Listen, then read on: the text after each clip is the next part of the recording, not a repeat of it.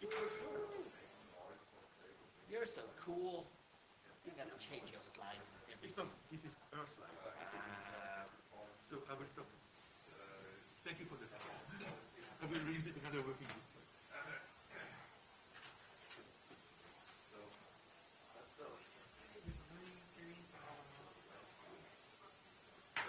We are here to learn, right? Is that Some learning it is? experience.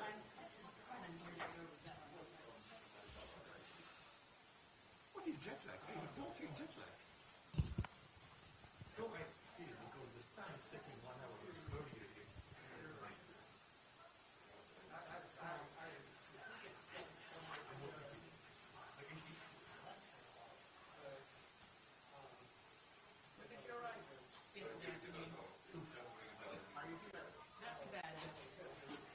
That could change at any moment, yeah. Yeah.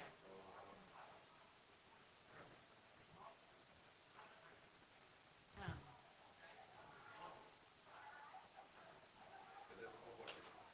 Learning all the ways in which I'm gonna adjust, not used to this travel.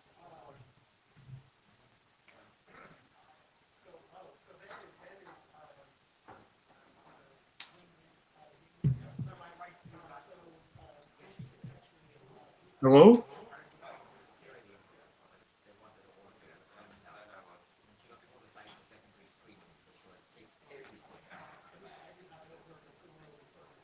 That was here at the airport?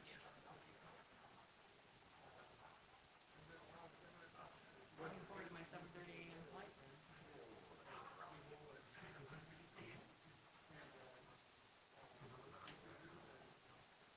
Oh, hell no. It's, uh, Spears, Missouri to Newark.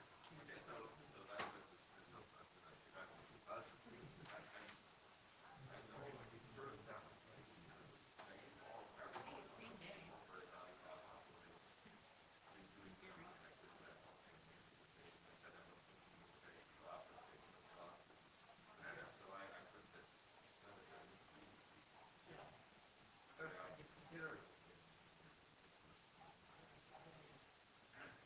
Hey, Leslie? Yep. Um, I, I don't see my slides uploaded. Or did you approve my slides? I uploaded them to MOPS uh, a couple days ago. Um, you should, they should be there. I thought I just uploaded them. W- Yeah, When I there- click there's- on, Hang on. sorry, when I click on meeting materials in uh, Meetecho, I see slides for the chairs and I see slides for Dash WebRTC, but I don't see the uh, slides for SVA. Have you refreshed your browser? Because I uploaded the rest of them about 10 minutes ago. I just logged in about three minutes ago. Well, well, I see them. Well, okay. um, let me leave and try to come back then. Yeah, and, and if it doesn't work out, then um, I, I can, in theory anyway, if I've done this correctly, I can share them and we can do the next slide thing. okay. Yeah, I was kind of waiting for Kyle, but, ah, there he is.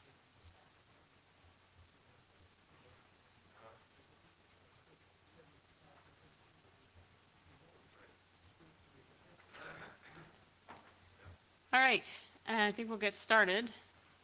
Welcome to the MOPS, Media Ops Working Group session. Um, Your co-chairs are Leslie Daigle, myself, and Kyle Rose, who is hopefully online successfully from an undisclosed location on vacation. Um, Before we get any further, we'll do the usual, uh, the usual introductory materials, but I will tell you now that at the end of the introductory materials, I will stop until we find a volunteer to take notes.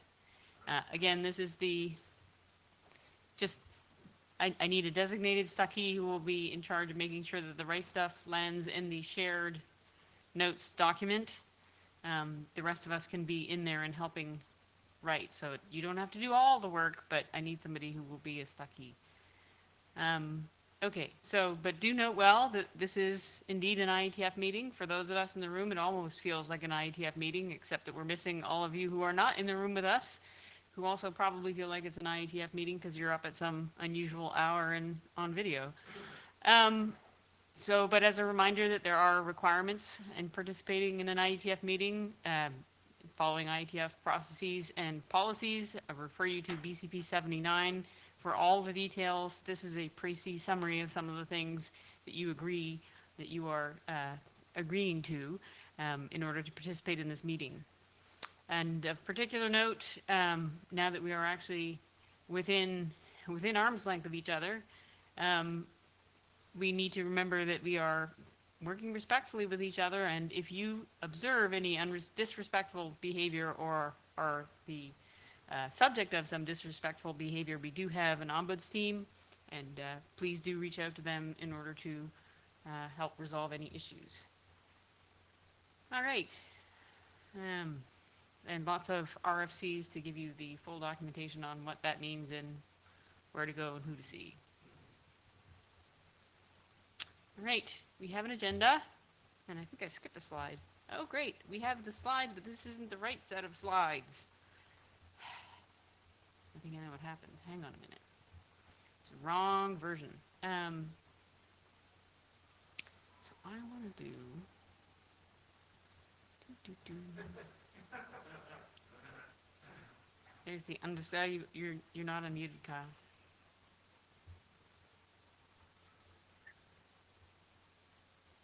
So Leslie, on the uh, slides, it, it turns out when you go to the slides view for Meetecho, um, using that refresh button in there does help. Um, logging in, logging out, you still get an old version of the, the, the overall materials, but you need to give it a kick. You should also make sure that they show up at the share slides list, you know, one's different from the other list. Those reasons. Still not the right version. All right. All right, so do we yet have a volunteer to take notes at this session? I'm not seeing anything in the chat. I'm not seeing any hands up online. I'm not seeing any hands up in the room. I can do that before o'clock. All right, thank you, Sanjay. Sanjay is volunteering to lead until 4 PM. I think that means that we better get this meeting over within 90 minutes. I've got a quick question though, on the minutes taker, uh, on the web page, I see the minutes notes from one twelve. No, you, All right, the AD is sorting that out, and I've got to get, Glenn, can you tell me how you refreshed your view of slides? Because I'm not seeing the updated, Yeah, in, in the uh, meeting materials tab, up sort of in the the Yep. left view of it, there is a reload meeting materials Right. twisty. thank you.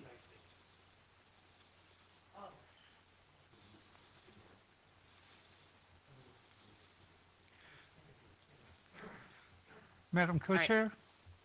Yep. Are- Are remote attendees eligible to take notes?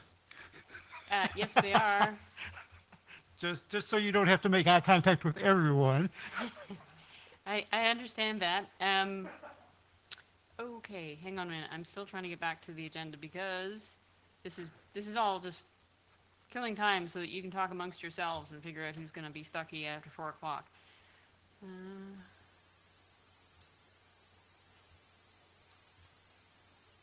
all right, one more time with feeling. Um, And I will, I will help take notes uh, after 4 o'clock. Thank you. Thank you. All right. Um, so this is the slide that I wanted to make sure to uh, get to. Um, I think by this point in the day, it's possible that in-person participants understand that um, you have to scan the uh, the QR code is the fastest way to sign the blue sheet for this session. Um, but otherwise, you can just log into the on-site tool, um, which will also log you into our blue sheets. It's how we know how many people were here and we can plan for future meetings. So we would appreciate it if you did. Uh, plus, also, we will be running the question queue out of the Meetecho interface. So by signing in using the on-site tool, you will have access to raise your hands. Uh, if you just show up at the mic, you'll be showing up at the mic.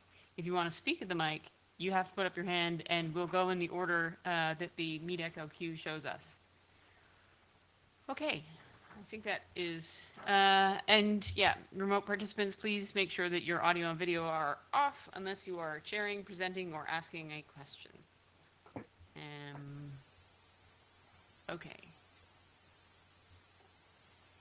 And Kyle's undisclosed location has terrible internet, so so he'll just have to make do. All right. So the agenda we have noted well. Um, we have not bashed the agenda. We do have a scribe. We have a minutes taker, uh, Jabber scribe. Is somebody somebody willing to say that they'll keep an eye on the chat?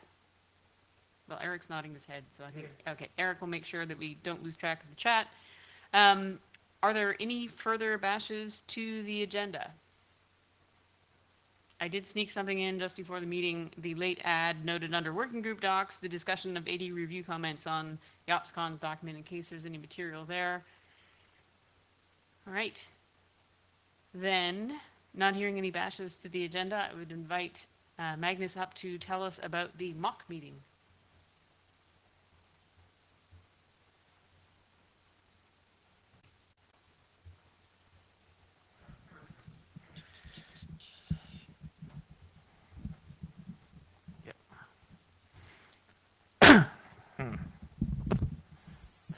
So, yep, I'm Magnus Westerlund. I will talk about the media over quick buff, which is on Wednesday at 10 o'clock Central European Time. So let's go next uh, slide. So we for those on site, it's going to be around Clean Code 2. Uh, it's a non-working performing buff. Do we, do we have this mic? If we just, so the mic should have, I don't know. What do you think you did? Sure. That doesn't make a noise? Probably, I'm guessing probably the battery is dying because they do that every time, like, few seconds after somebody starts talking. Oh, oh, yep, dead battery. Here we go. Have this one for now, I'm going to steal your batteries from someone. Sorry about those online that gets the scratches. So um, anyway, those for on-site, it's Grand Toll 2. It's a non-working group forming BOF. And the kind of high-level goal is to judge the need and scope of interest in working one or more new media delivery protocol built on top of Quick. My co-chair is Alan Frindell. So let's go a little bit into depth here about what's this. So next slide.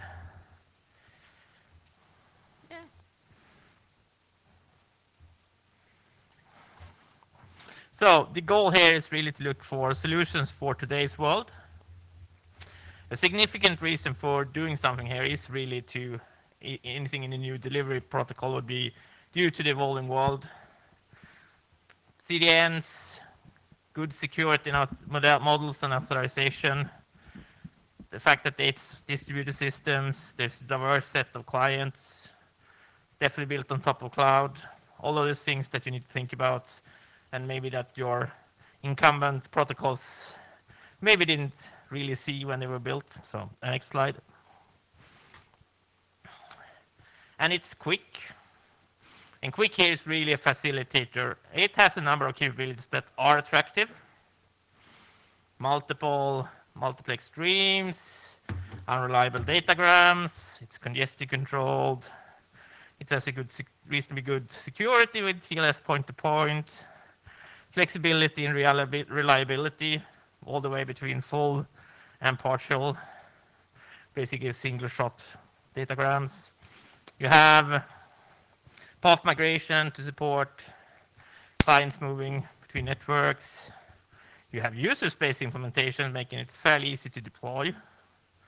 Uh, so building on this can simplify the protocol and improve the possibilities to deploy. So next slide. So the big question for the BOF is going to be what to tackle, and it's it's a fairly, I mean, big uh, range here from, and one of the major factors here is probably latency, from quite short latencies to that usually gaming, remote desktoping, and telephony and video conferencing requires, to live media, that's still fairly wide range from maybe just sub-seconds to tens of seconds. And we have on-demand media. Uh, Just a personal observation here is probably the on-demand media is not target to this. But um, it's rather a question of how much of the above we need to tackle. Uh, Next slide. So live media is probably a starting point, and there's interesting things here around this. So this is pictures uh, got from James Gruessing, who's going to present at the BOF, but it's looking at typical kind of basic case of a TV production chain for live TV all the way over to distribution, both on demand over satellite, terrestrial networks. Uh, and those bigger arrows are what's maybe interest here and what's relates. So we have three different ingest arrows. And they all are different colors for a reason, because there's some subtle differences here in requirements. Syndication, it's a can be either distribution or ingest, or it's something around there. Also, slightly different requirements. The content delivery with the streaming arrow there, getting the media out. That's different, uh, yet yet another set of requirements that's different. So, um, next slide.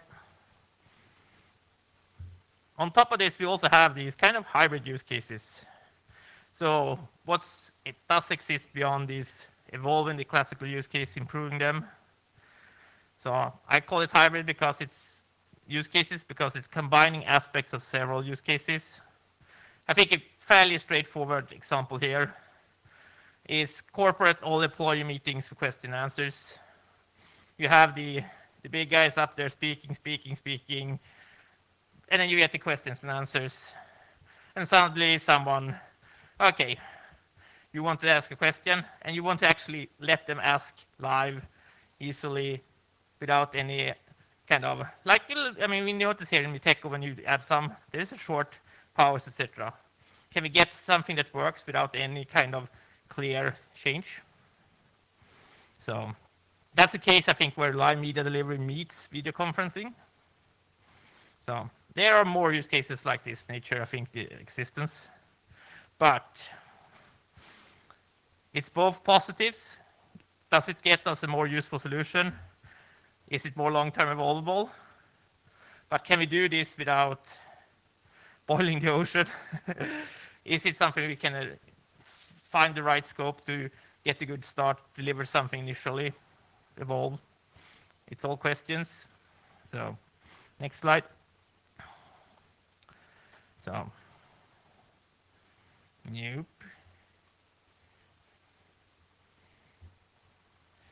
Slides is not. So it's a lot of questions for this BOF, but um, if you want to prepare, you could take a look at some of these documents that has some inputs or proposals, etc., or things that have been done to maybe better understand where people are coming from. So, um, yep. Take care. I don't have that much more. I think it's you're welcome to come to the BOF on Wednesday morning uh, and have prepared with your questions, etc. Follow along the discussion, contribute with what's your views, etc. So, yeah, you can take the next slide. But um, so, any questions from in these sessions about the BOF? Not trying to hold the BOF here, but if there's any questions or things that you should think about. Yeah, if you want to get in the queue, please raise your hand and, yeah.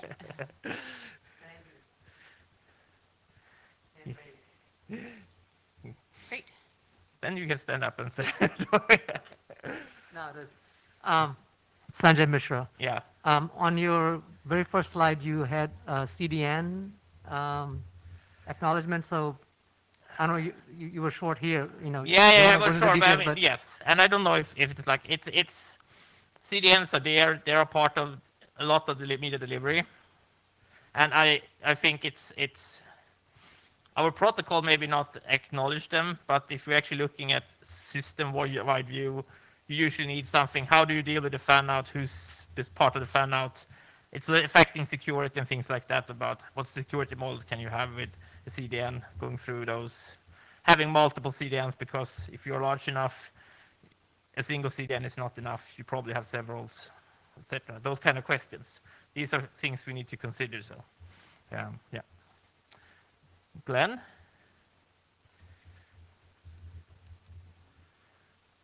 Hey there. Sorry I couldn't be there in person. Um, so one of the interesting use cases that I don't see on your list that you might want to consider if in fact this does become a working group or the work gets taken up someplace is the situations in which you end up having because of your media workflows and the practical reality of who's going to support quick and who might not. Uh, there's a, a case where you have to do transitions along the media workflow potentially from quick to some other transport back to quick even. Um, and those transition points may be areas of either like a, a best practices document or even maybe some innovation around the quick space um, around those transitions between protocols. It's just the reality of complex media flows that you end up with um, these like you know islands of things that don't support the latest and greatest, and you have to sort of transition in and out, kind of like you know six to four back in the in in, in that other world. So So- just a, that one comment. The other thing It's is an uh, excellent consideration. Come to the buff and tell it there. your, your timing couldn't be worse. 10 a.m. CET when you live in California is pretty painful. I, I'll try. We'll see. no promises. yeah. Um, the other thing I'll, I'll highlight here, and then you may want to take back to your BOF, uh, that I'll talk about in the SVA slides that are coming up next, is the streaming video alliance is is putting together a quick uh, streaming POC, uh, not to sort of do a bake off of the, the quick protocol, but to really build a test environment for media operators who want to understand quick and evaluate it against their current operating environment and understand what, it- what it means. So just a pointer over to that, and it may be relevant work to the stuff you guys are doing in mock. Okay, thank you. So, Matt Wool? Yeah, Mo?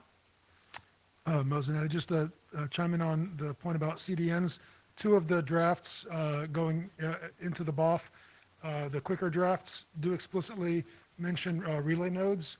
Uh, They don't, I don't think they call them CDNs as such, but it essentially is a CDN, so they have an explicit uh, provision in the protocol for those relay nodes, their function, and how they handle publications and subscriptions. So you Yeah. want to take a look at that? Yep. Okay, thank you.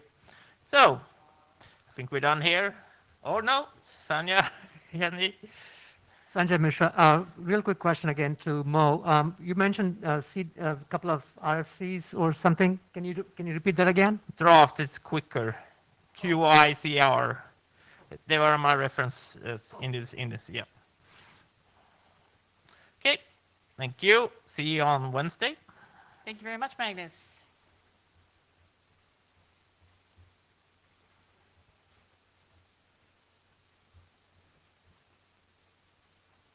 All right, Glenn, you are up next.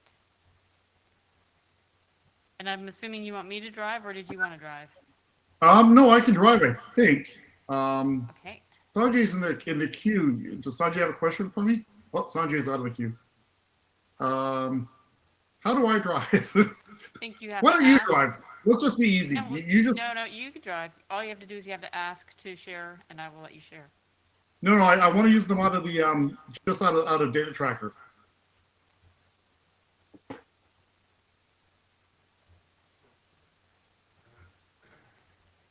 All right.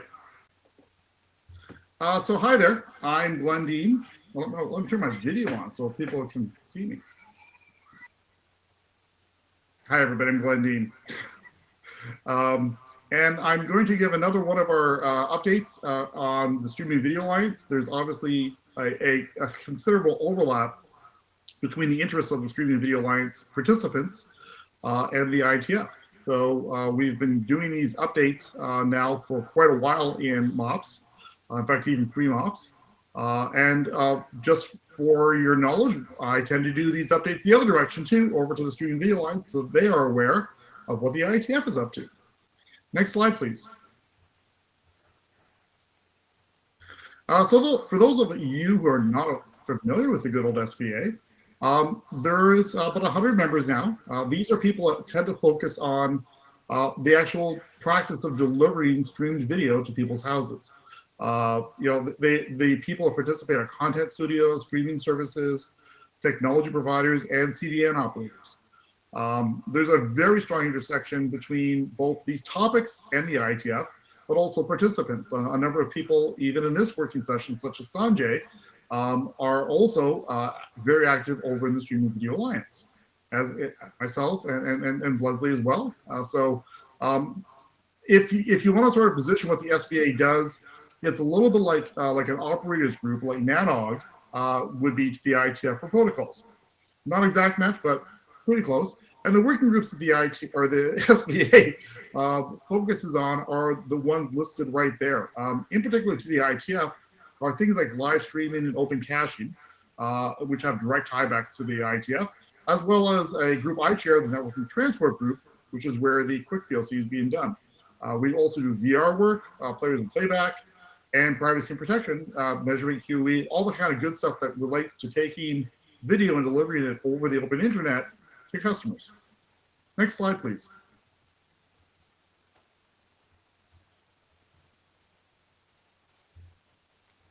Uh, just so you're aware, as I pointed out, a few of us are around, so if you want to know more and have questions after this, uh, find Sanjay in the hall. I see he's there in Vienna. Uh, or find me. There is our email contacts for both of us. We can help you understand the group and, and, and, and, and build bridges. Next slide, please. So let's talk about a few things that have come out since we did the last update. Um, last update, I talked a little bit about the open caching API uh, becoming available. Uh, it was sort of early release then. It is actually full release now. Um, there is a URL down there at the bottom. And this open caching uh, testbed is, you know, one of the key things the SVA has been producing is an open caching specification uh, and the, the, the APIs. And we have a lot of people in that room who are building the thing and deploying it. And so one of the, obviously, one of the important things is interoperability and the use of those APIs and testing of them. So we've stood up a service now uh, where you can actually go in and test your APIs uh, against a reference uh, testbed uh, and uh, to verify that they're up and working and doing the thing they're supposed to do. Next slide, please. Uh, I also want to point out some open caching configuration interface specifications that came out uh, uh, officially back in uh, the beginning of March. There's three sets of them, an overview and architecture, uh, a extensions to the CDNI, that's the ITF CDNI, uh, metadata object model, and the publishing layers APIs. And I also point you, if you're interested in these things, uh, go over and look at the ITF, and you'll see, or sorry, CDNI at the ITF uh, mailing list, you'll see like uh, documents and stuff that have flowed over from S- SVA to the ITF around CDNI and these specifications. So there's a strong linkage there for us. Next slide, please. Uh, there's another paper I wanted to point out to you. This is a fairly long uh, white paper that the SVA recently published. It's around 5G and edge cloud, uh, and ha- you know, given the work the S, the ITF has done around, um, you know, network slicing and other things like that, I think there's a lot of interconnects here that would, the ITF community would find interesting to read. Uh, it's about 110 pages, fairly long, uh, and it, we try to balance between a little bit of marketing, not a lot of marketing really, and technology without getting down to the weeds. So it really should appeal to the uh, ITF reader this uh, white paper. Next slide, please. So I mentioned this uh, when Magnus was talking. Um, one of the things you know we've been looking at from an operator perspective for delivering video is you know everyone's talking about quick, and from the ITF perspective, sometimes you know quick is like, hey, we, we shipped it, it's ready to go.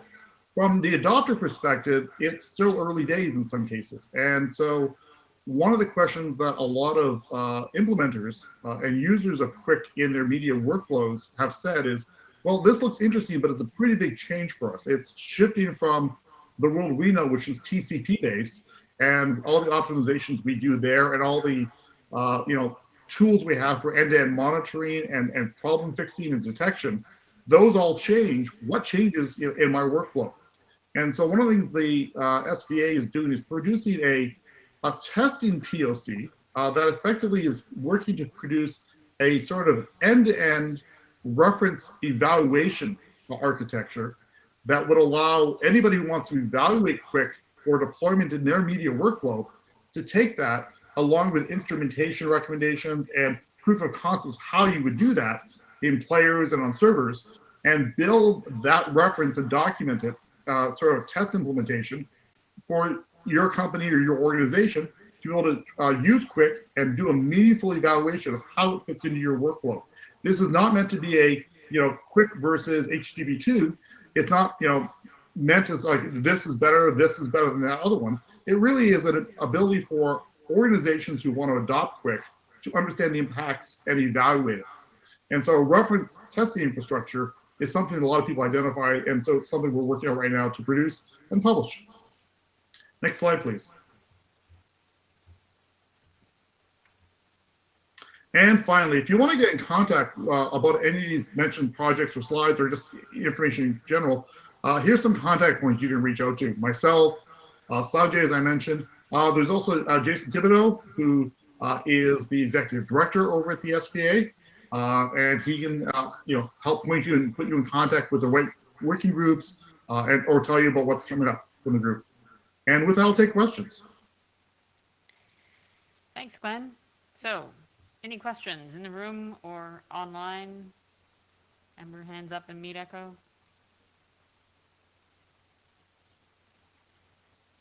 I think you must have explained it all very, very clearly, Glenn.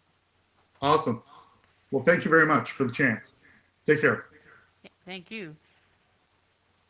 All right. Um, moving right along. Next up is uh, Julia Ken- Kenyon. Who I think is online.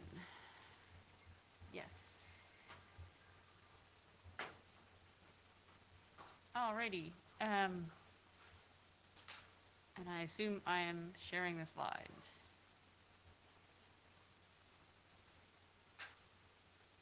Right. Go ahead, Julia. Video. Hello. Um, hi, I'm Julia Kenyon. I work for a company called uh, Phenix RTS. If you've never heard of us, it's not surprising. Um, we do real-time streaming using WebRTC. And we've had a lot of use cases that intersected with Dash over the years. So last May, uh, a bunch of colleagues uh, joined Dash IF to talk about what kind of use cases we could support if we were to kind of integrate Dash and WebRTC. So if you pull up the next slide. Um, so there's a number of different use cases you can get from integrating Dash and WebRTC. One is fallback from WebRTC to Dash. So if the device doesn't support WebRTC, if the network connection isn't good enough to sustain WebRTC and you have to uh, do, do more buffering like Dash supports, um, or if someone's offering a real-time experience that's premium and someone's not paying for it, they can fall back to the more uh, the, the higher latency dash stream. There's also use cases where you use content that's interleaved, so you have real-time WebRTC and then you interleave that with Dash, so you're switching back and forth between Dash WebRTC with ad period or uh, say a pre-recorded content like a movie and then interactive periods where you talk to the movie's director, stuff like that.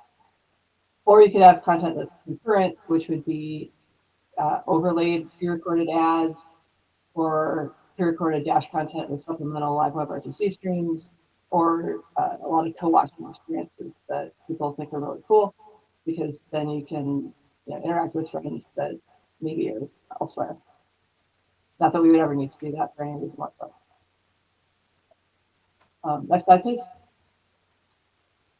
So just real quick, in case anybody's not familiar with WebRTC, uh, much everyone knows Dash.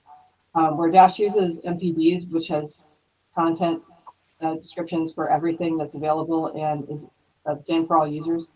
WebRTC uses the SDP, which is unique for each client and typically only describes one audio and one video stream. In Dash, where the client selects the media and the bitrate and the codecs, WebRTC uh, just negotiates the codecs between the server and client, and the server is what's adapting the bitrate. In Dash, subtitles and captions are standardized, whereas WebRTC, all implementations currently are proprietary.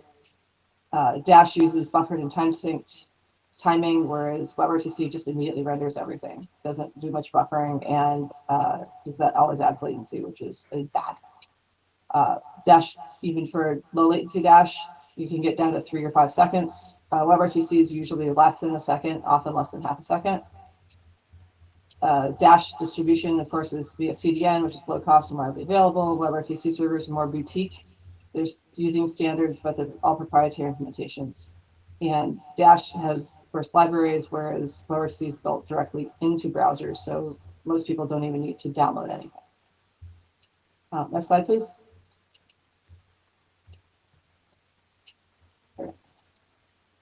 So how would that work? Um, you've got for hybrid delivery, you'd have a publisher publishing live content.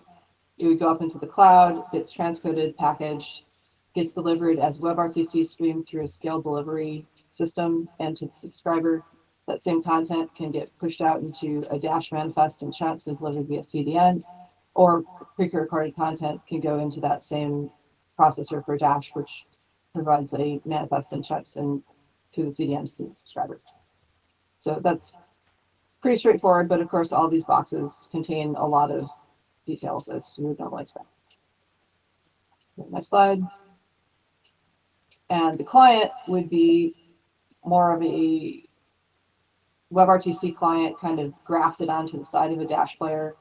So you'd get your typical Dash player getting MPDs and segments. And then that would talk via a set of APIs to a WebRTC client, which is the standard stack, uh, an HTTP client, a WebSocket that then talks to the WebRTC server. And they just go back and forth using a set of APIs that still need to be defined. Uh, next slide, please. So the workflow would look like this. So the Dash player gets the MPD, which then comes back with a set of WebRTC adaptation sets. The Dash player would pick out which which tracks it likes. So if the MPD says, hey, there's a German track over here and an English track over there, it would know your preferences, or you'd ask you and you could select one. It would send that information about those specific streams to the WebRTC client, which then does very standard SDP negotiation, except that that's not standard yet, but we'll get to that in a minute. Um, does does SDP negotiation, then establishes its WebRTC connection, establishes a WebSocket connection, and then media starts flowing from the WebRTC media server, as well as events over that WebSocket. Okay, next, please. Um, as I kind of alluded to earlier, the current state of real-time streaming, the WebRTC stream is standard, but getting there is not. So if you want to connect to a system that's doing WebRTC streaming, you need to get some kind of proprietary manifest. And the system, the session negotiation is also proprietary. So you can't just take any client and connect to any server. You need to have a bunch of stuff before you get there. And we would at some point soon like to make those more standard so that clients don't have to all speak the same language as their specific server. Okay, next slide. So WebRTC's got a lot of work to do um, as far as uh, the standardization efforts. So a signaling protocol, which is currently in work as far as the, the WHIP protocol, um, which is a bit a bit like an ATM machine. Um, so there needs to be a standard session management protocol. There needs to be some kind of stream switching that doesn't require starting over again with SDP negotiation. Um, there's a bunch of work around time synchronization, time synchronization with Dash and collecting metrics. So Dash clients collect a lot of good metrics that would be good for WebRTC sessions to also collect and then translate those into existing metrics and then send those via the APIs that were in the system diagram. Okay, next slide, please. And Dash needs to determine the APIs that go between those WebRTC clients and the Dash clients. Define, define how WebRTC information gets presented in those MPDs. Decide whether Dash and WebRTC would both render to a single browser video element or switch between two. And support hybrid operations between Dash and WebRTC. And I think that's the last slide. Oh, sorry. Okay, so Dash IF worked on a report that summarize that there's a summary of that report at this link. The full report is at the other URL, and we also have an interest survey where we're trying to find out which people are interested in this for in furthering the standards work that we've defined and um, what use cases they're interested in. So I would encourage everybody to at least look at the summary and if you, even if you don't find it interesting, please fill out the interest survey because one of the options is that you're not interested at all. Great, thanks. And, and if you've been following the chat, which I'm sure you were doing while you were presenting, not. Of course. um, Yeah, there's some suggestions that this looks like it's got some good overlap with, with MoQ, so hopefully you'll be able to make the MoQ off on Wednesday. Um, Probably not. so, yeah. Glenn, Glenn, I think you have a question. Yeah. Yeah, hi there. Um, nice presentation, Julia. Thanks. Um, Glenn Deen here from Comcast NBC Universal. Uh, so a couple questions. Uh, one, in this sort of workflow, this hybrid workflow, how would trick play, like the ability to pause, rewind, jump back to live, what's the vision for that? And then, you want to take these individually, or shall I ask them all at once? Oh, if they're all, if they're all connected, then I would just ask them all at once and then we'll, we'll see which ones I remember. Uh, and the other one was, um, you know, the, the watermarking is done today through Dash manifests with the with the AB trick, AB selection trick. Um, any thought about how you do that in this world? Um, well, I'll start with trick play. So trick play, the way we, the way people are doing it right now is you're, you're on the live edge and you're watching, you know, what happened, say on the football field just a second ago. And you can pick which kind of football you, you like, uh, American or, or real. Um, Ouch. so, sorry, not sorry. Um, so you're on the live edge and something happens, so you want to back up. So then you have an option, usually in UI, to pop backwards. When you go backwards, you're you're then going into the dash world, right? So then you're in the dash world. You can scrub. You can do all the usual things you can do in a recorded stream. And then when you watch and see, oh, that's why that guy got a red card or got a flag, then you can then pop back to the live edge and then you're back on WebRTC. And, and so with the WebRTC, so I noticed in your media flow that you had WebRTC both being um, packaged as a Dash manifest element, but also a direct delivery into clients. Um, how would the direct delivery into clients work there? Would they basically see a black black box of the WebRTC content during the trick play, or there seems Well, to be a that's a good synchronization point. problem? Is I guess where I'm going with ultimately.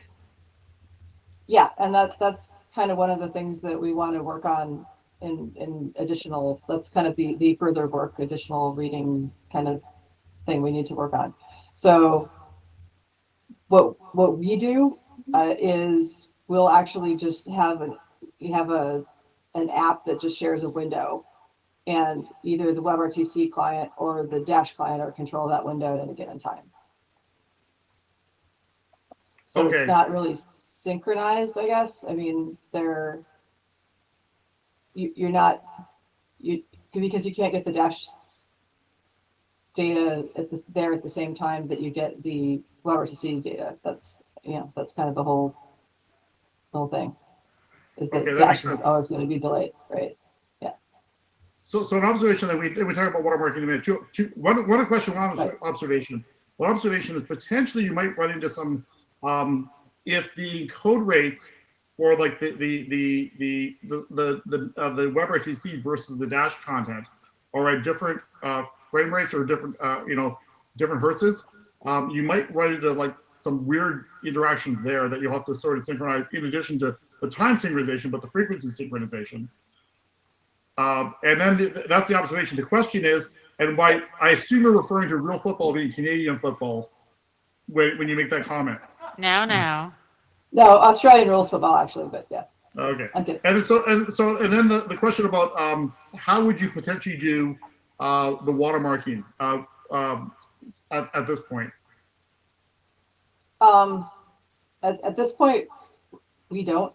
Um, so that's another thing that would be good to kind of hash out as far as would you have completely separate streams or would you just say live edge we're not going to bother with that or you know do some other way of content protection and then just do the the AB selection on the dash side.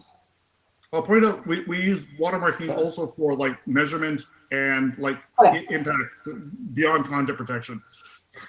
Yeah, I'm I'm I'm familiar. I used to work at Barron's. Um.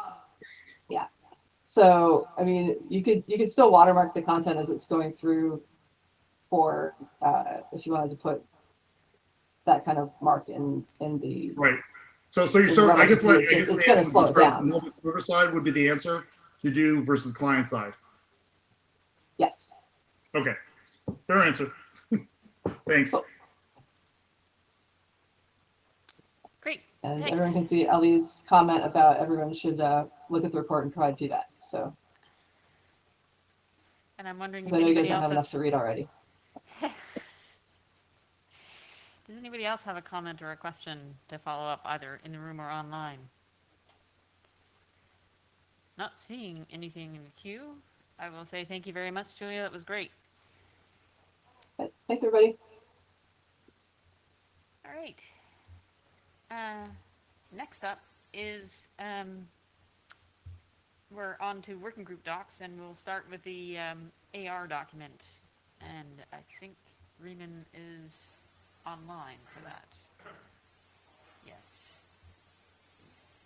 Uh, Renan, did you want to present the slides yourself, or shall I do it? Yes, please. Can you drive the slides? Sure. Thank you.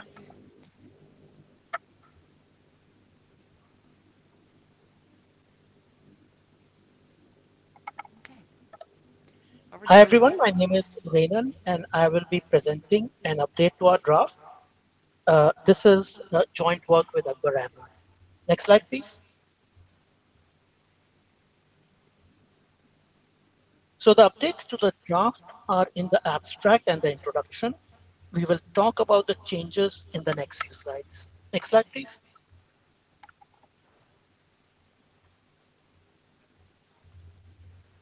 We have got a detailed feedback in the mailing list. Many thanks to Spencer, Rohit, Jake, Kiran, and Ali. Uh, they provided both feedback and comments on the mailing list.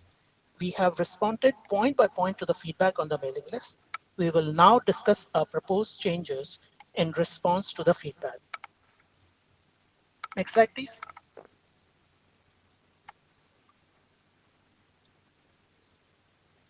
We propose to replace the term augmented reality with the much more broader term extended reality.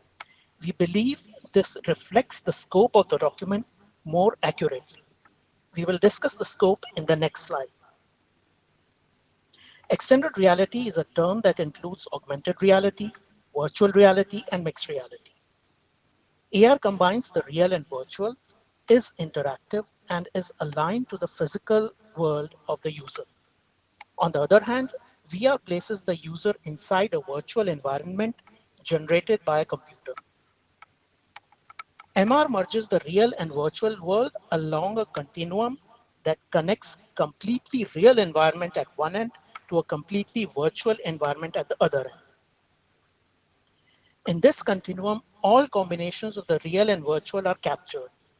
Now let's look at our proposed scope of the document of the draft as well as the intended audience. Next slide, please.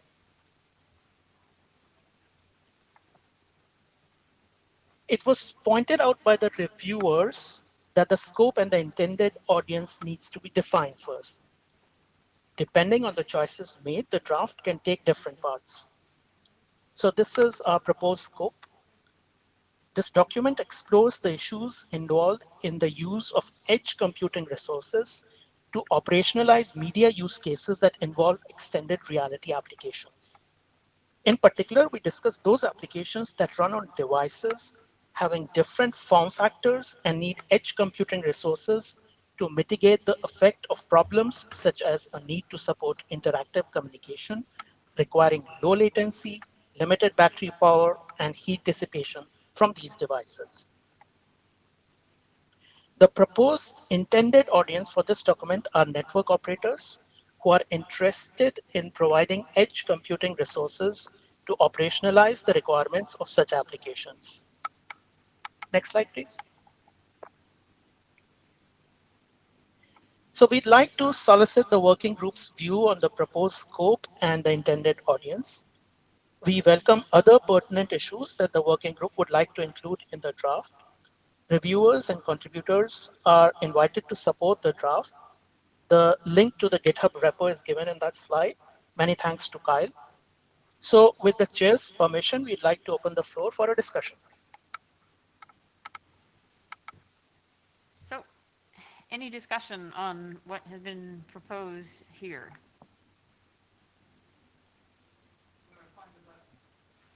Spencer is looking for the button.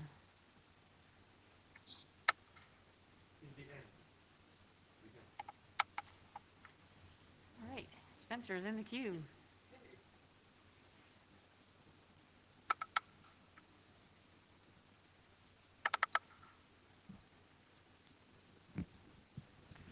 This is, uh, I'm Spencer Dawkins, and I'm really struggling with uh, the first IETF out of the last four or five when I have not had two 24-inch monitors to go back and forth with. Uh, Others here may feel the same way. Um, So thank you for this. Um, I did have one question um, that the uh, scope you proposed uh, seems focused, well, I mean, it, it is focused on uh, people doing whatever, whatever AR is, um, that are going to be using edge computing um, for things like split rendering. Um, and I'm curious if there's anybody who is not, who is going to, who is going to try to be supporting AR, but not using edge computing uh, as a way to uh, support AR? And that's a question for the group, of course. So clarifying question, Spencer. By not using edge computing, what are you suggesting? That they'll do it in, in cloud resources or, or? Yeah, I I mean, any, any other way, some of which people in this room may be inventing on their laptops now. Uh, That, you know, I, I- I guess I'm kind of asking if, if there are such other ways to do this, do we do, you know, do we expect, are we planning to expand this document or write another document about, cl- you know, doing it through cloud or what like that? And I'm, like I say, I'm mostly asking uh, for the working group to think about this. And uh, I have been where um, Renan is, uh, and, you know, and so have Ali and, and Jake. As far as you know, you've got a working group document and you're not getting a lot of input for it, and um, it really it really improves the document when when the rest of the working group is paying attention. So, I, like I say, I'm I'm not asking the authors to make me happy. I'm asking the authors to make the working group happy. Right. Renan, do you have any thoughts to share or? Yeah, uh, I think um, the use of edge computing essentially uh, comes into play when you are talking of uh, offloading computationally intensive stuff, uh, which uh, might result in uh, heated equipment or uh, limited battery capacity, so the battery runs out. Uh, in addition to your standard requirement for very low latency in such applications. So what we see going forward is that the edge computing uh, solution is an overarching umbrella under which other possible things can also be added to. Uh, so I've had discussions with people who suggested uh, things like uh, multipath uh, TCP, just you know, just throwing that to the working group. But we we do feel that edge computing has this umbrella-like property where you you can do a lot of things once you have solved the problem of uh, uh, of highly computationally intensive uh, applications running on your device, and you have just offloaded it to a nearby set of edge servers, and then you can use all sorts of clever tricks, including adaptive uh, bitrate algorithms, to to further mitigate the the problem. So we do feel that edge computing is is, is, is a key thing, but I'd like to hear other people as well. Yep, I'm, I'm scanning around to see if other people have comments to make on that. And it looks like Jake does. Go ahead, Jake.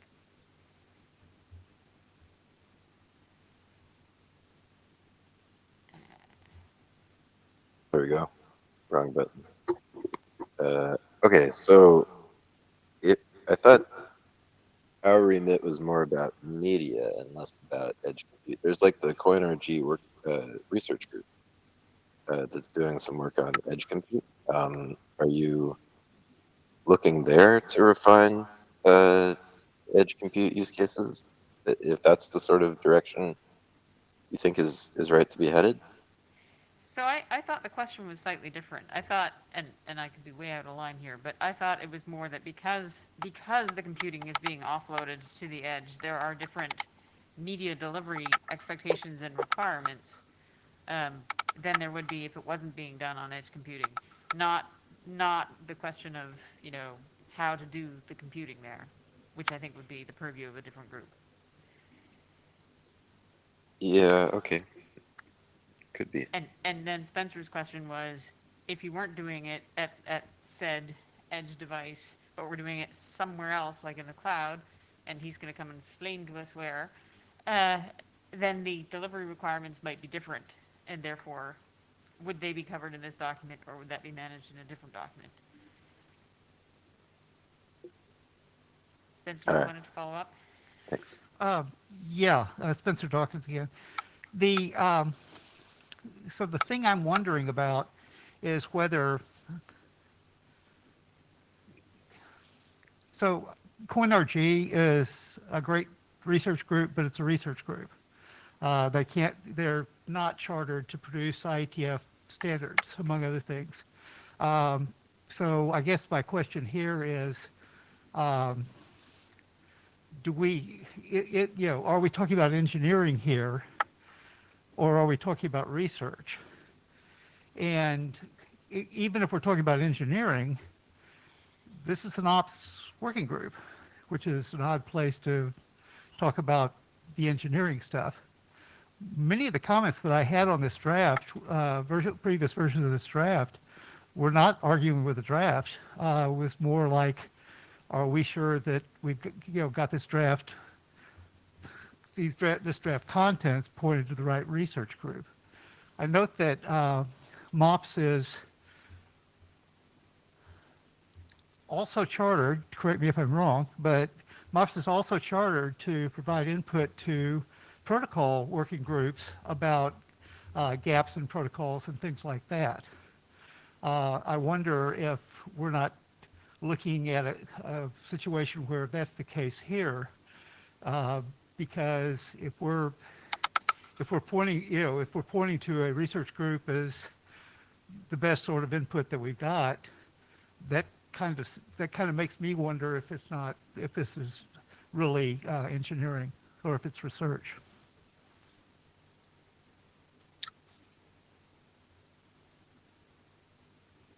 Eric?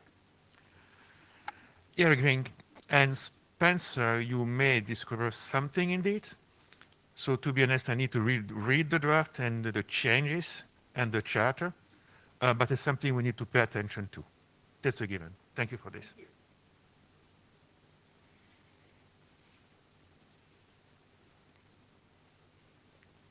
So I, I certainly agree that if we're off into that kind of research space, we should revisit. Um, but I'm, I'm also smelling potential rat smells, as in we might have fallen down a rat hole.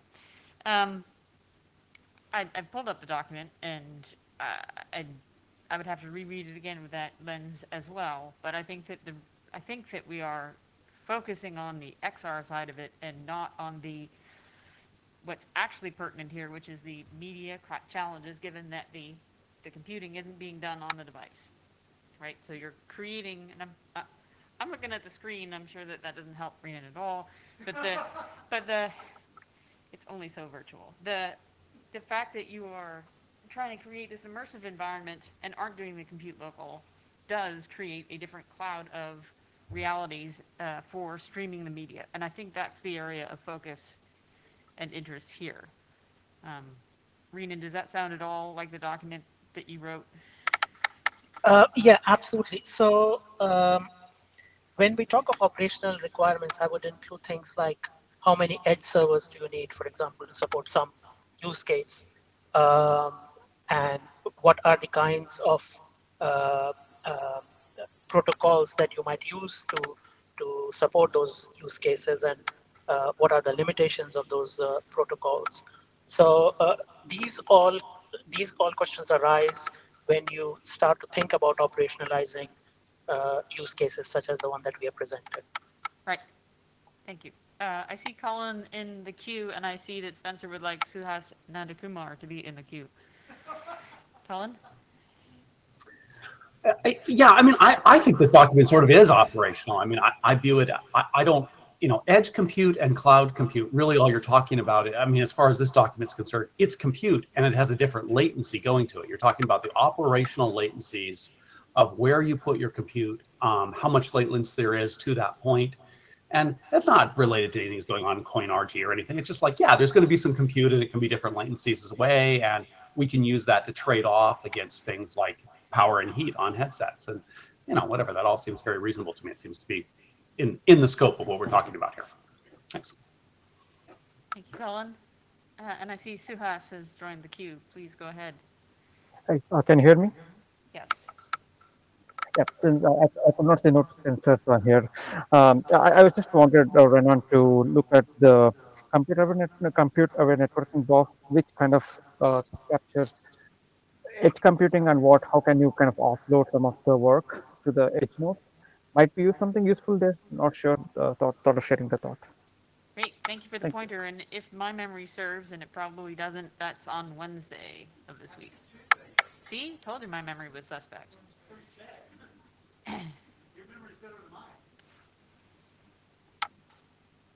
Great. Thank you. All right, Spencer, you're in queue.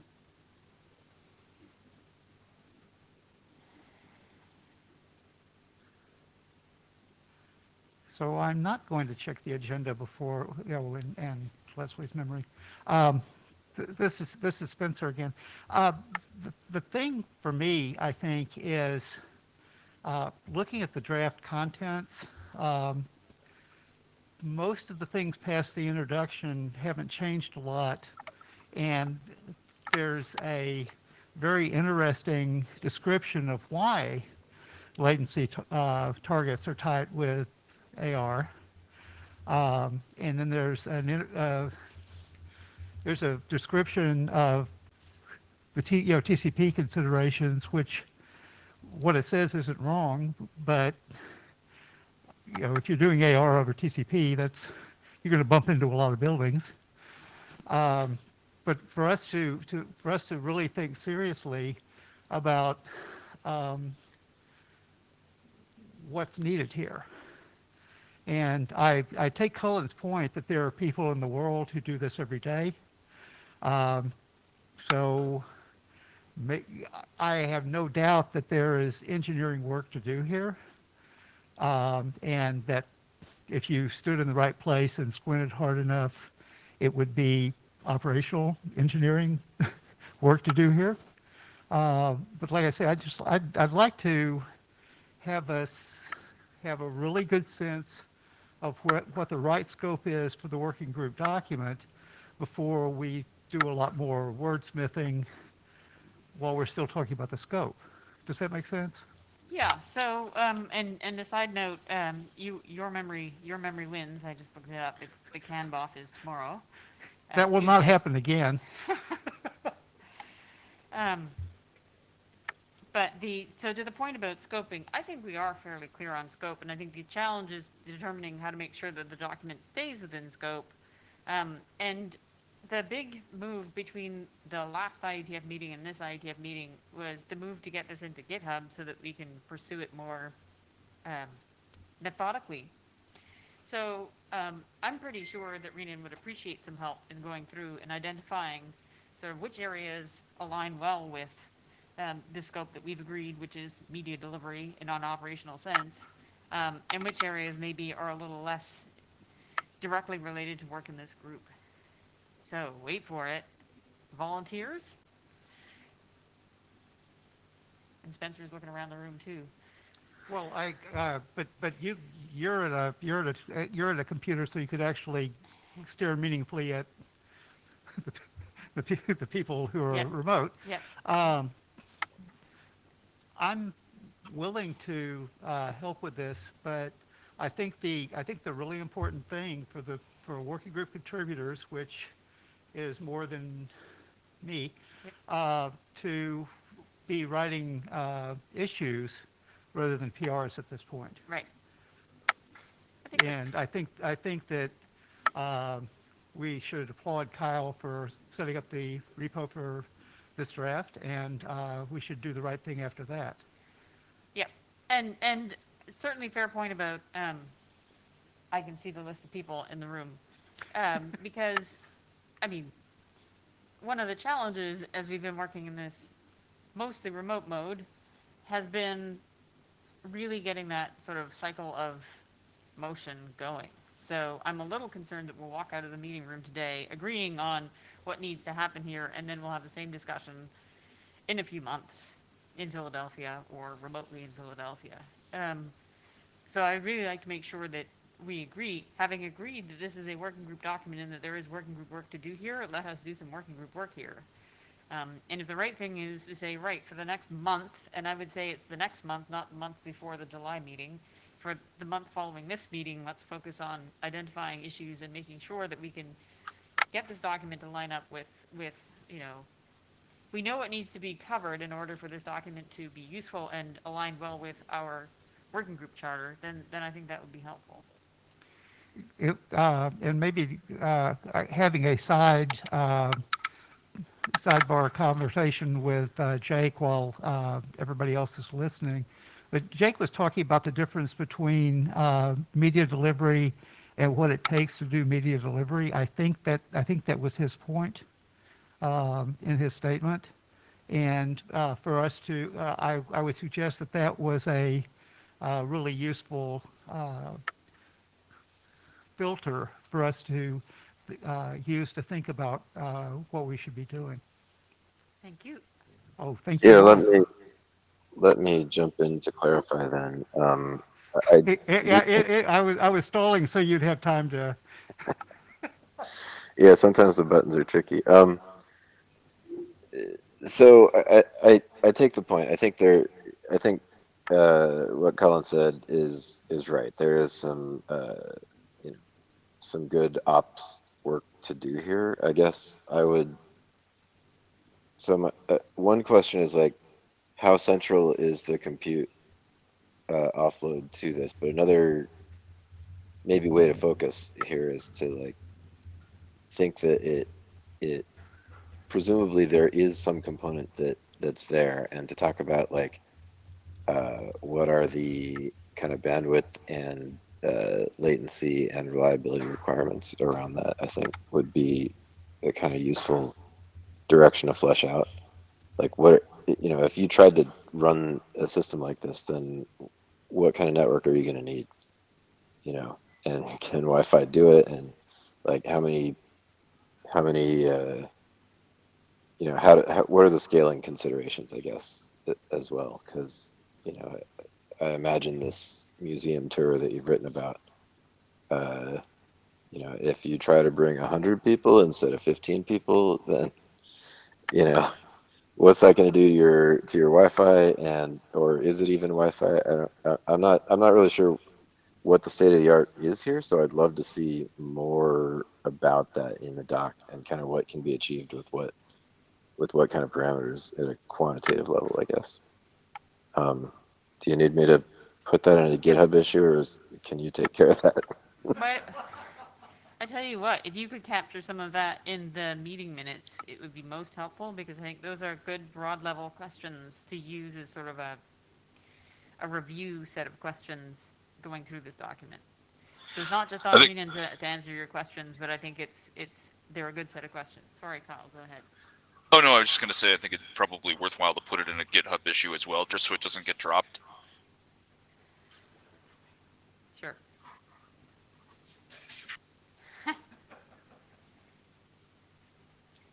All right.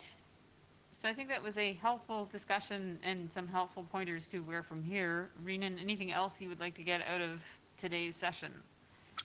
Uh, no, I would like to thank everyone for participating in the discussion. Uh, and uh, just wanted to reiterate that we, for this iteration, we only focused on the abstract and the introduction because we think it's it's uh, really important to fix the scope of the document and also to uh, to fix the intended audience.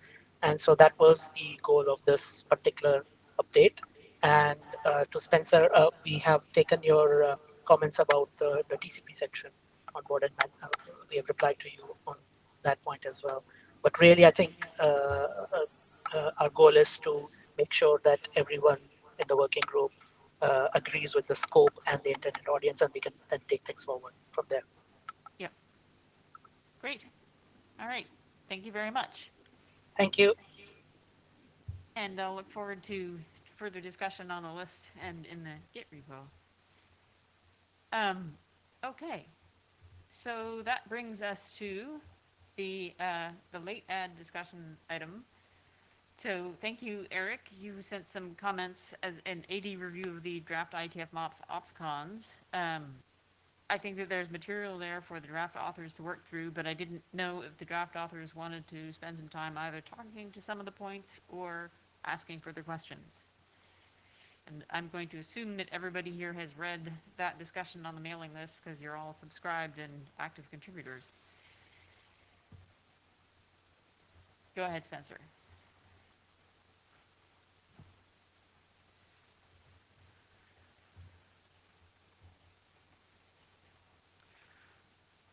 Yeah, Spencer Dawkins, um, and noting that there are two other um, draft editors on the on the uh, here in, in uh, Meetecho. Um, so I invite them to help me think. I looked at Eric's uh, comments, and almost all of them I knew what to do with. The only one that I did not know what to do with was uh, his observation that some of the description of latency seemed overly latent um, in the draft. And uh, after a spirited, spirited uh, conversation on email between me and Ali, uh, one of the other editors, uh, I've convinced myself that what that the definition of latency categories in the draft, which was uh, hammered out at great length uh, in this in this working group, is reasonable for streaming media, and um, we can talk about whether we should even be even mention video conferencing as a streaming application. But um, I agree with Ali that opening the conversation about latencies is, in the context of this draft, is not the right thing to do. Um, so I'm, given that, I think I know what to do with pretty much all the uh, comments that, that Eric made, and uh, thank you, Eric, for being gentle. And um, let other people um, express opinions about any of the other comments that um, may have been made. I, I'll just go ahead and say this now, if, if I can. Um, I have been living with the nice people that are doing the MoQ BOF. And the latency categories that they're talking about there are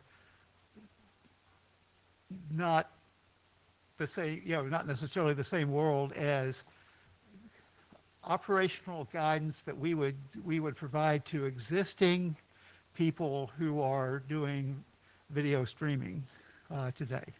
And so, like I say, I've, I, Ali convinced me that uh, we're talking about two different problems, and it's okay to not change stuff in one description just because of the other thing we're talking about. Thank you. Okay, thank you. Eric? Yeah, a- indeed, all my comments I think are pretty minor. They are more the editorial side and really technical. Uh, for me, there are two things, the latency. I really want to point you on this. If you confirm that you are okay with it, I'm all set, right? You are the expert, I'm not. And the other point is about the living documents.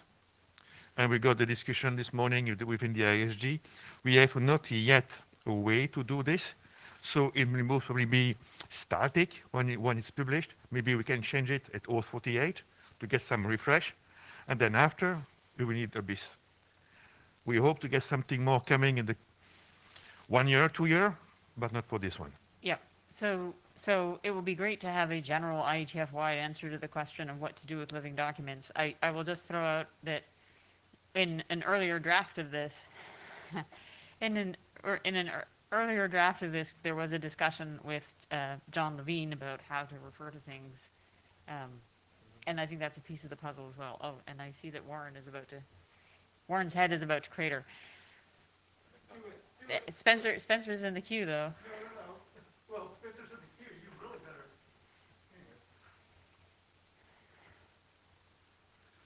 Okay, uh, this is your regular host, uh, Spencer Dawkins. And um, so if I'm remembering the conversation that we were having correctly on the previous version of the draft, uh, it was using something like tinyURL to generate the URLs. And so the question was, what happens if tinyURL goes away? Um, so I think that one reasonable suggestion, which if people tell me it's not totally crazy, I would likely put in a PR for, uh, would be to uh, create a dead pointer to a living document. and that the and that the dead pointer, which would not be uh, which would not be updated, would be pointing to a document, maybe in the mock GitHub or something like that, uh, where we where we could maintain it, where we could maintain uh, the really very useful list of things you ought to be following and things you ought to keep an eye on uh, that are that are now in the draft. If if not everybody has noticed that because it was added in fairly recent revisions, uh, it's worth taking a look at. But I think it's really I think it's really useful for us to provide that to the readers, uh, and if we don't have to drive the RFC people crazy. Um, Yeah. yeah, we so can solve it. Or yeah. if we can solve our problem ourselves, maybe we don't have to wait for that. Thank you. Yeah, well, some of the implications and ramifications are the reason why I would really look forward to an ISG solution for this across the board because in a previous life, I was known as Our Lady of Identifiers. um, and I'm trying to get over that. but this is servicing a lot of the challenges with, you know, what is permanent, what is, I mean, heck, let's get into document formats too. Um, while we're at it. And um, yeah, so let's, I'm not really not trying to drive Warren under the carpet. Did you need the mic, Warren? I'm going to let Warren have the mic and then we'll get back to the queue. Uh, somebody's going to have to cut me off because otherwise I'm going to go on a 20 minute rant. Um, so we've tried to the living documents thing a few times, and part of the problem seems to be that everybody's got their own use case. So figuring out exactly what the use case would be seems like an option. Um, I think the easiest thing that we came up with last time was there is one document which is owned by the chairs or someone, and they just update it to point at the most recent version of another document, which seems to be what everybody kind of agrees is the currently best viewed. So like the chairs kind of determined consensus that, you know, this thing is what everybody kind of agrees at the moment. And they just have a document that points at that. It's incredibly messy and ugly, but it at least gets you something for now. Um, but if people have the stomach to have the living documents discussion again, that would be really useful. I still think it's worth doing.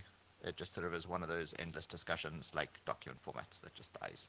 Yep, no, I- and I think that the real challenge there is to have the discussion in the broader context than, than the MOPS working group. So, Yes and no. Well, I mean, yeah, I- I we could understand solve the our theory. problem, As Spencer suggested, we could just solve our problem. Yeah. Yeah, I mean, the issue is there's like 47 different use cases, Yep. and if you have the broader one, everybody's like, mine's the most important. Yep.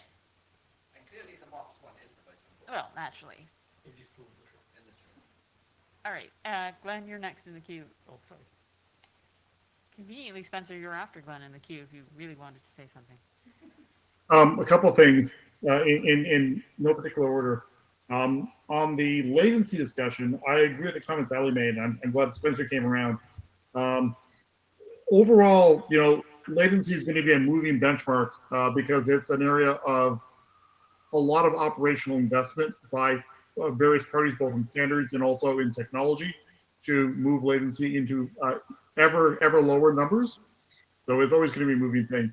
Uh, on the discussion of living documents, um, you know, one one thing MOPS should consider if we're going to do this sort of isolated alone uh, and not try to solve the bigger picture, which I, I agree with, um, is also the concern though that if uh, the IETF does get requests for uh, citations by lawyers and, and, and signed, you know, what happened when, um, that whatever solution we decide in MOPS should be able to support uh, those legal frameworks that the IETF does get pinged on occasionally uh, by law firms.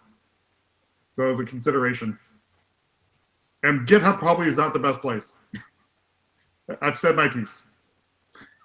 Right, thanks for that. Spencer, did you want to? And then I think we will, unless there are other, unless there are other issues with the document, we'll Uh, And, and this, this is on, this is on that one. Uh, The, my, my, uh, my question is just, I'm not going to raise, I'm not going to raise my hand about this at the plenary, right? We all agree. Okay, just making sure. Yes. Um, okay, so I think that that was useful discussion around the points in um, the MOPS AR, no, sorry, in the OpsCon docs. Sanjay, did you want to jump in on? Uh, Yeah, this is Sanjay, just real quick. I mean, the, the decision on living document does not have to be made. I mean, if we should publish the document, of course, if there's consensus. And if after the publication, there's a really good use case that we think belongs in that document, then we can always, you know, revisit it. But I don't know if we want to consider this as a like living document, you know, forever. Yep. All right, so I think, I think Eric, you correctly identified the two major issues with the document, latency and the zombie document problem. Um, okay, then, thank you very much for that, and, and I'll take this opportunity too to say thank you very much to Sanjay, who is the document shepherd and did all the work to do the write-up and get it to the ISG. So thank you, Sanjay.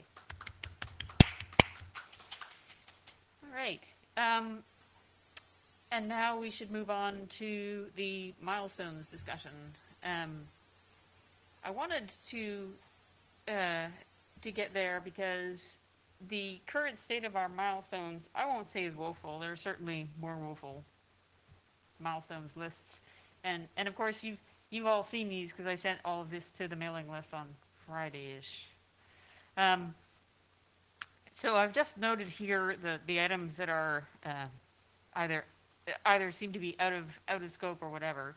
So we were we had as a list on our list to last call a document on SM SMPTE's use of our reliance on our protocols. Since we don't even have a draft of that, and SMPTE seems to be moving away from some of the uh, really IETF related work at the moment, I think that it just doesn't seem to be. I, I don't think we should have this on our list at all. I think we should punt on that one, revisit it when there are more in-person meetings for both the IETF and SMPTE, um, and, and see where to go from there. For the streaming video alliance document that also doesn't exist yet, um, I think we move it out a little bit because um, I, I, I believe we have updated a possible pointer to a plan. That's enough layers of indirection to cause that document to, to exist. Um, and I think that by July, we should be in, we should be possibly even seeing a draft of that document. So that's my proposal there. Um, we have done two of our milestones. Um, and, um, yeah, the November 2021 SMPTE one also out because it didn't happen. Um, and then there was a Bogon. Um, I think that there was a miss, we just didn't clean up the milestones properly last time. Um, and we do have a revised, um, AR use case document. So all of that markup is kind of messy.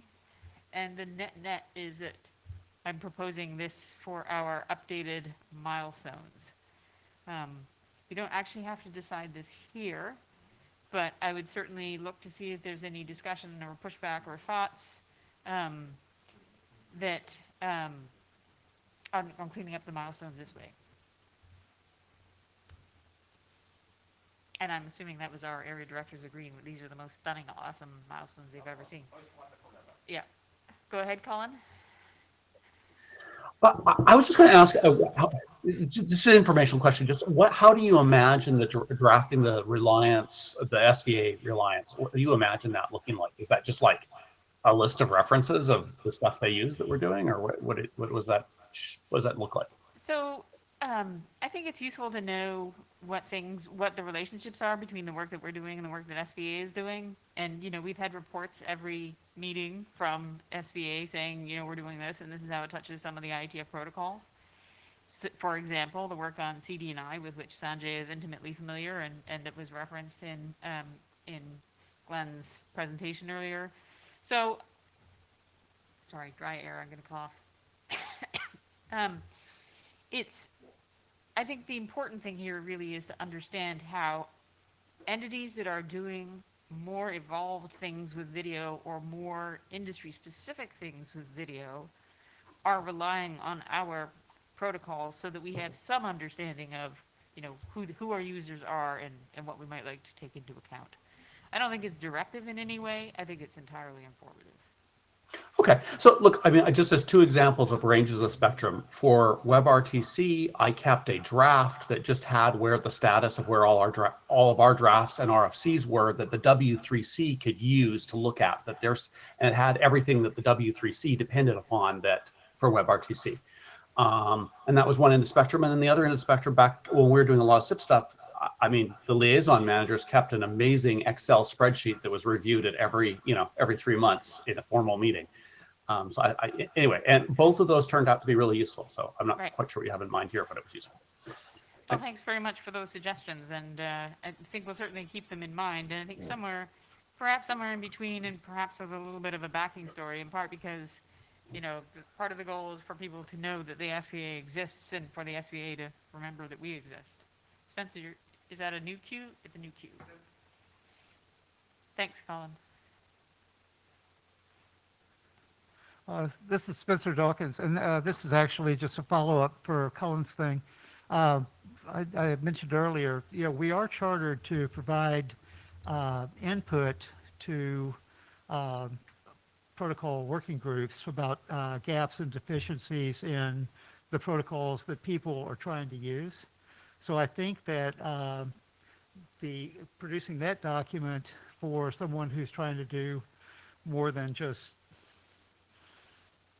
show a, you know, show a, show a video, um, is, is a really useful first step towards saying, do, I- you know, do we have, do, do we have everything that we need? Uh, or, you know, or is there other stuff? Um, we haven't really talked much that I, that I can remember about, uh, gaps. And I think that, um, having MOPS members participating in the mock MOP uh, on Wednesday is going to be a really good opportunity for uh, that kind of input to happen. Uh, I know we have one person from the broadcast uh, type business uh, that's been active in discussions about in, in MoQ, but uh, a lot of other kinds, a lot of other kinds of, of operators uh, that haven't haven't been represented at all. I think it'd be useful to have that uh, in a non-work group forming BOF. Yeah, so I think part of what I'm hearing and what you're saying is that um, maybe we shouldn't expect to be last calling the document a couple months after the first draft appears. Um, So the November 2022 milestone should probably be moved out or changed from last call to an update or something. Yeah. Okay. All right, that sounds good. Um, I will send that update to the mailing list and, you know, gather whatever comments, other comments show up there, give it a couple of weeks and plan, I think Kyle and I will confirm that we, it looks like we've updated milestones and then do the updates. So with that, um, is there any other business?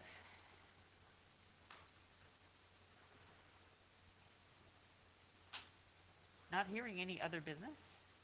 Going once, going twice, and I asked Kyle a couple minutes ago, but I don't know if he's lost his connection. Uh, It's been fine since I've uh, switched to my tablet and uh, had my video off. So,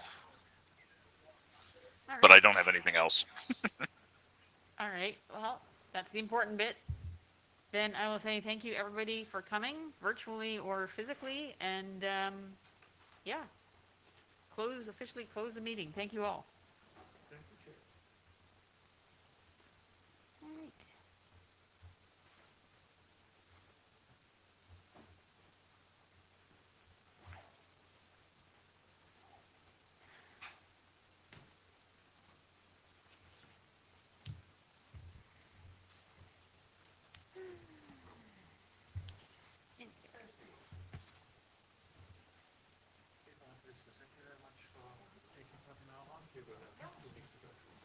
A lot of fun, yeah, to meet you. Yeah, yeah, that's great. And, uh, thanks for chasing up the people who are being more earlier. I couldn't, I couldn't understand what was being said. I- Yeah. Actually, the one lady was a bit loud. uh, Right, I couldn't know how, how that was going. I, I actually asked somebody remotely if it was at least audible. If you're sitting behind the speaker, so it didn't work. But, Yeah. But they were, they were, as soon as I said, they just moved away. They were very friendly. They just didn't notice. Yeah, yeah. Hi, Warren. Hey, how are you, son? I'm fine, how are you? Not too bad, not too bad. Yes. Are you aware? Yes. Dot NL is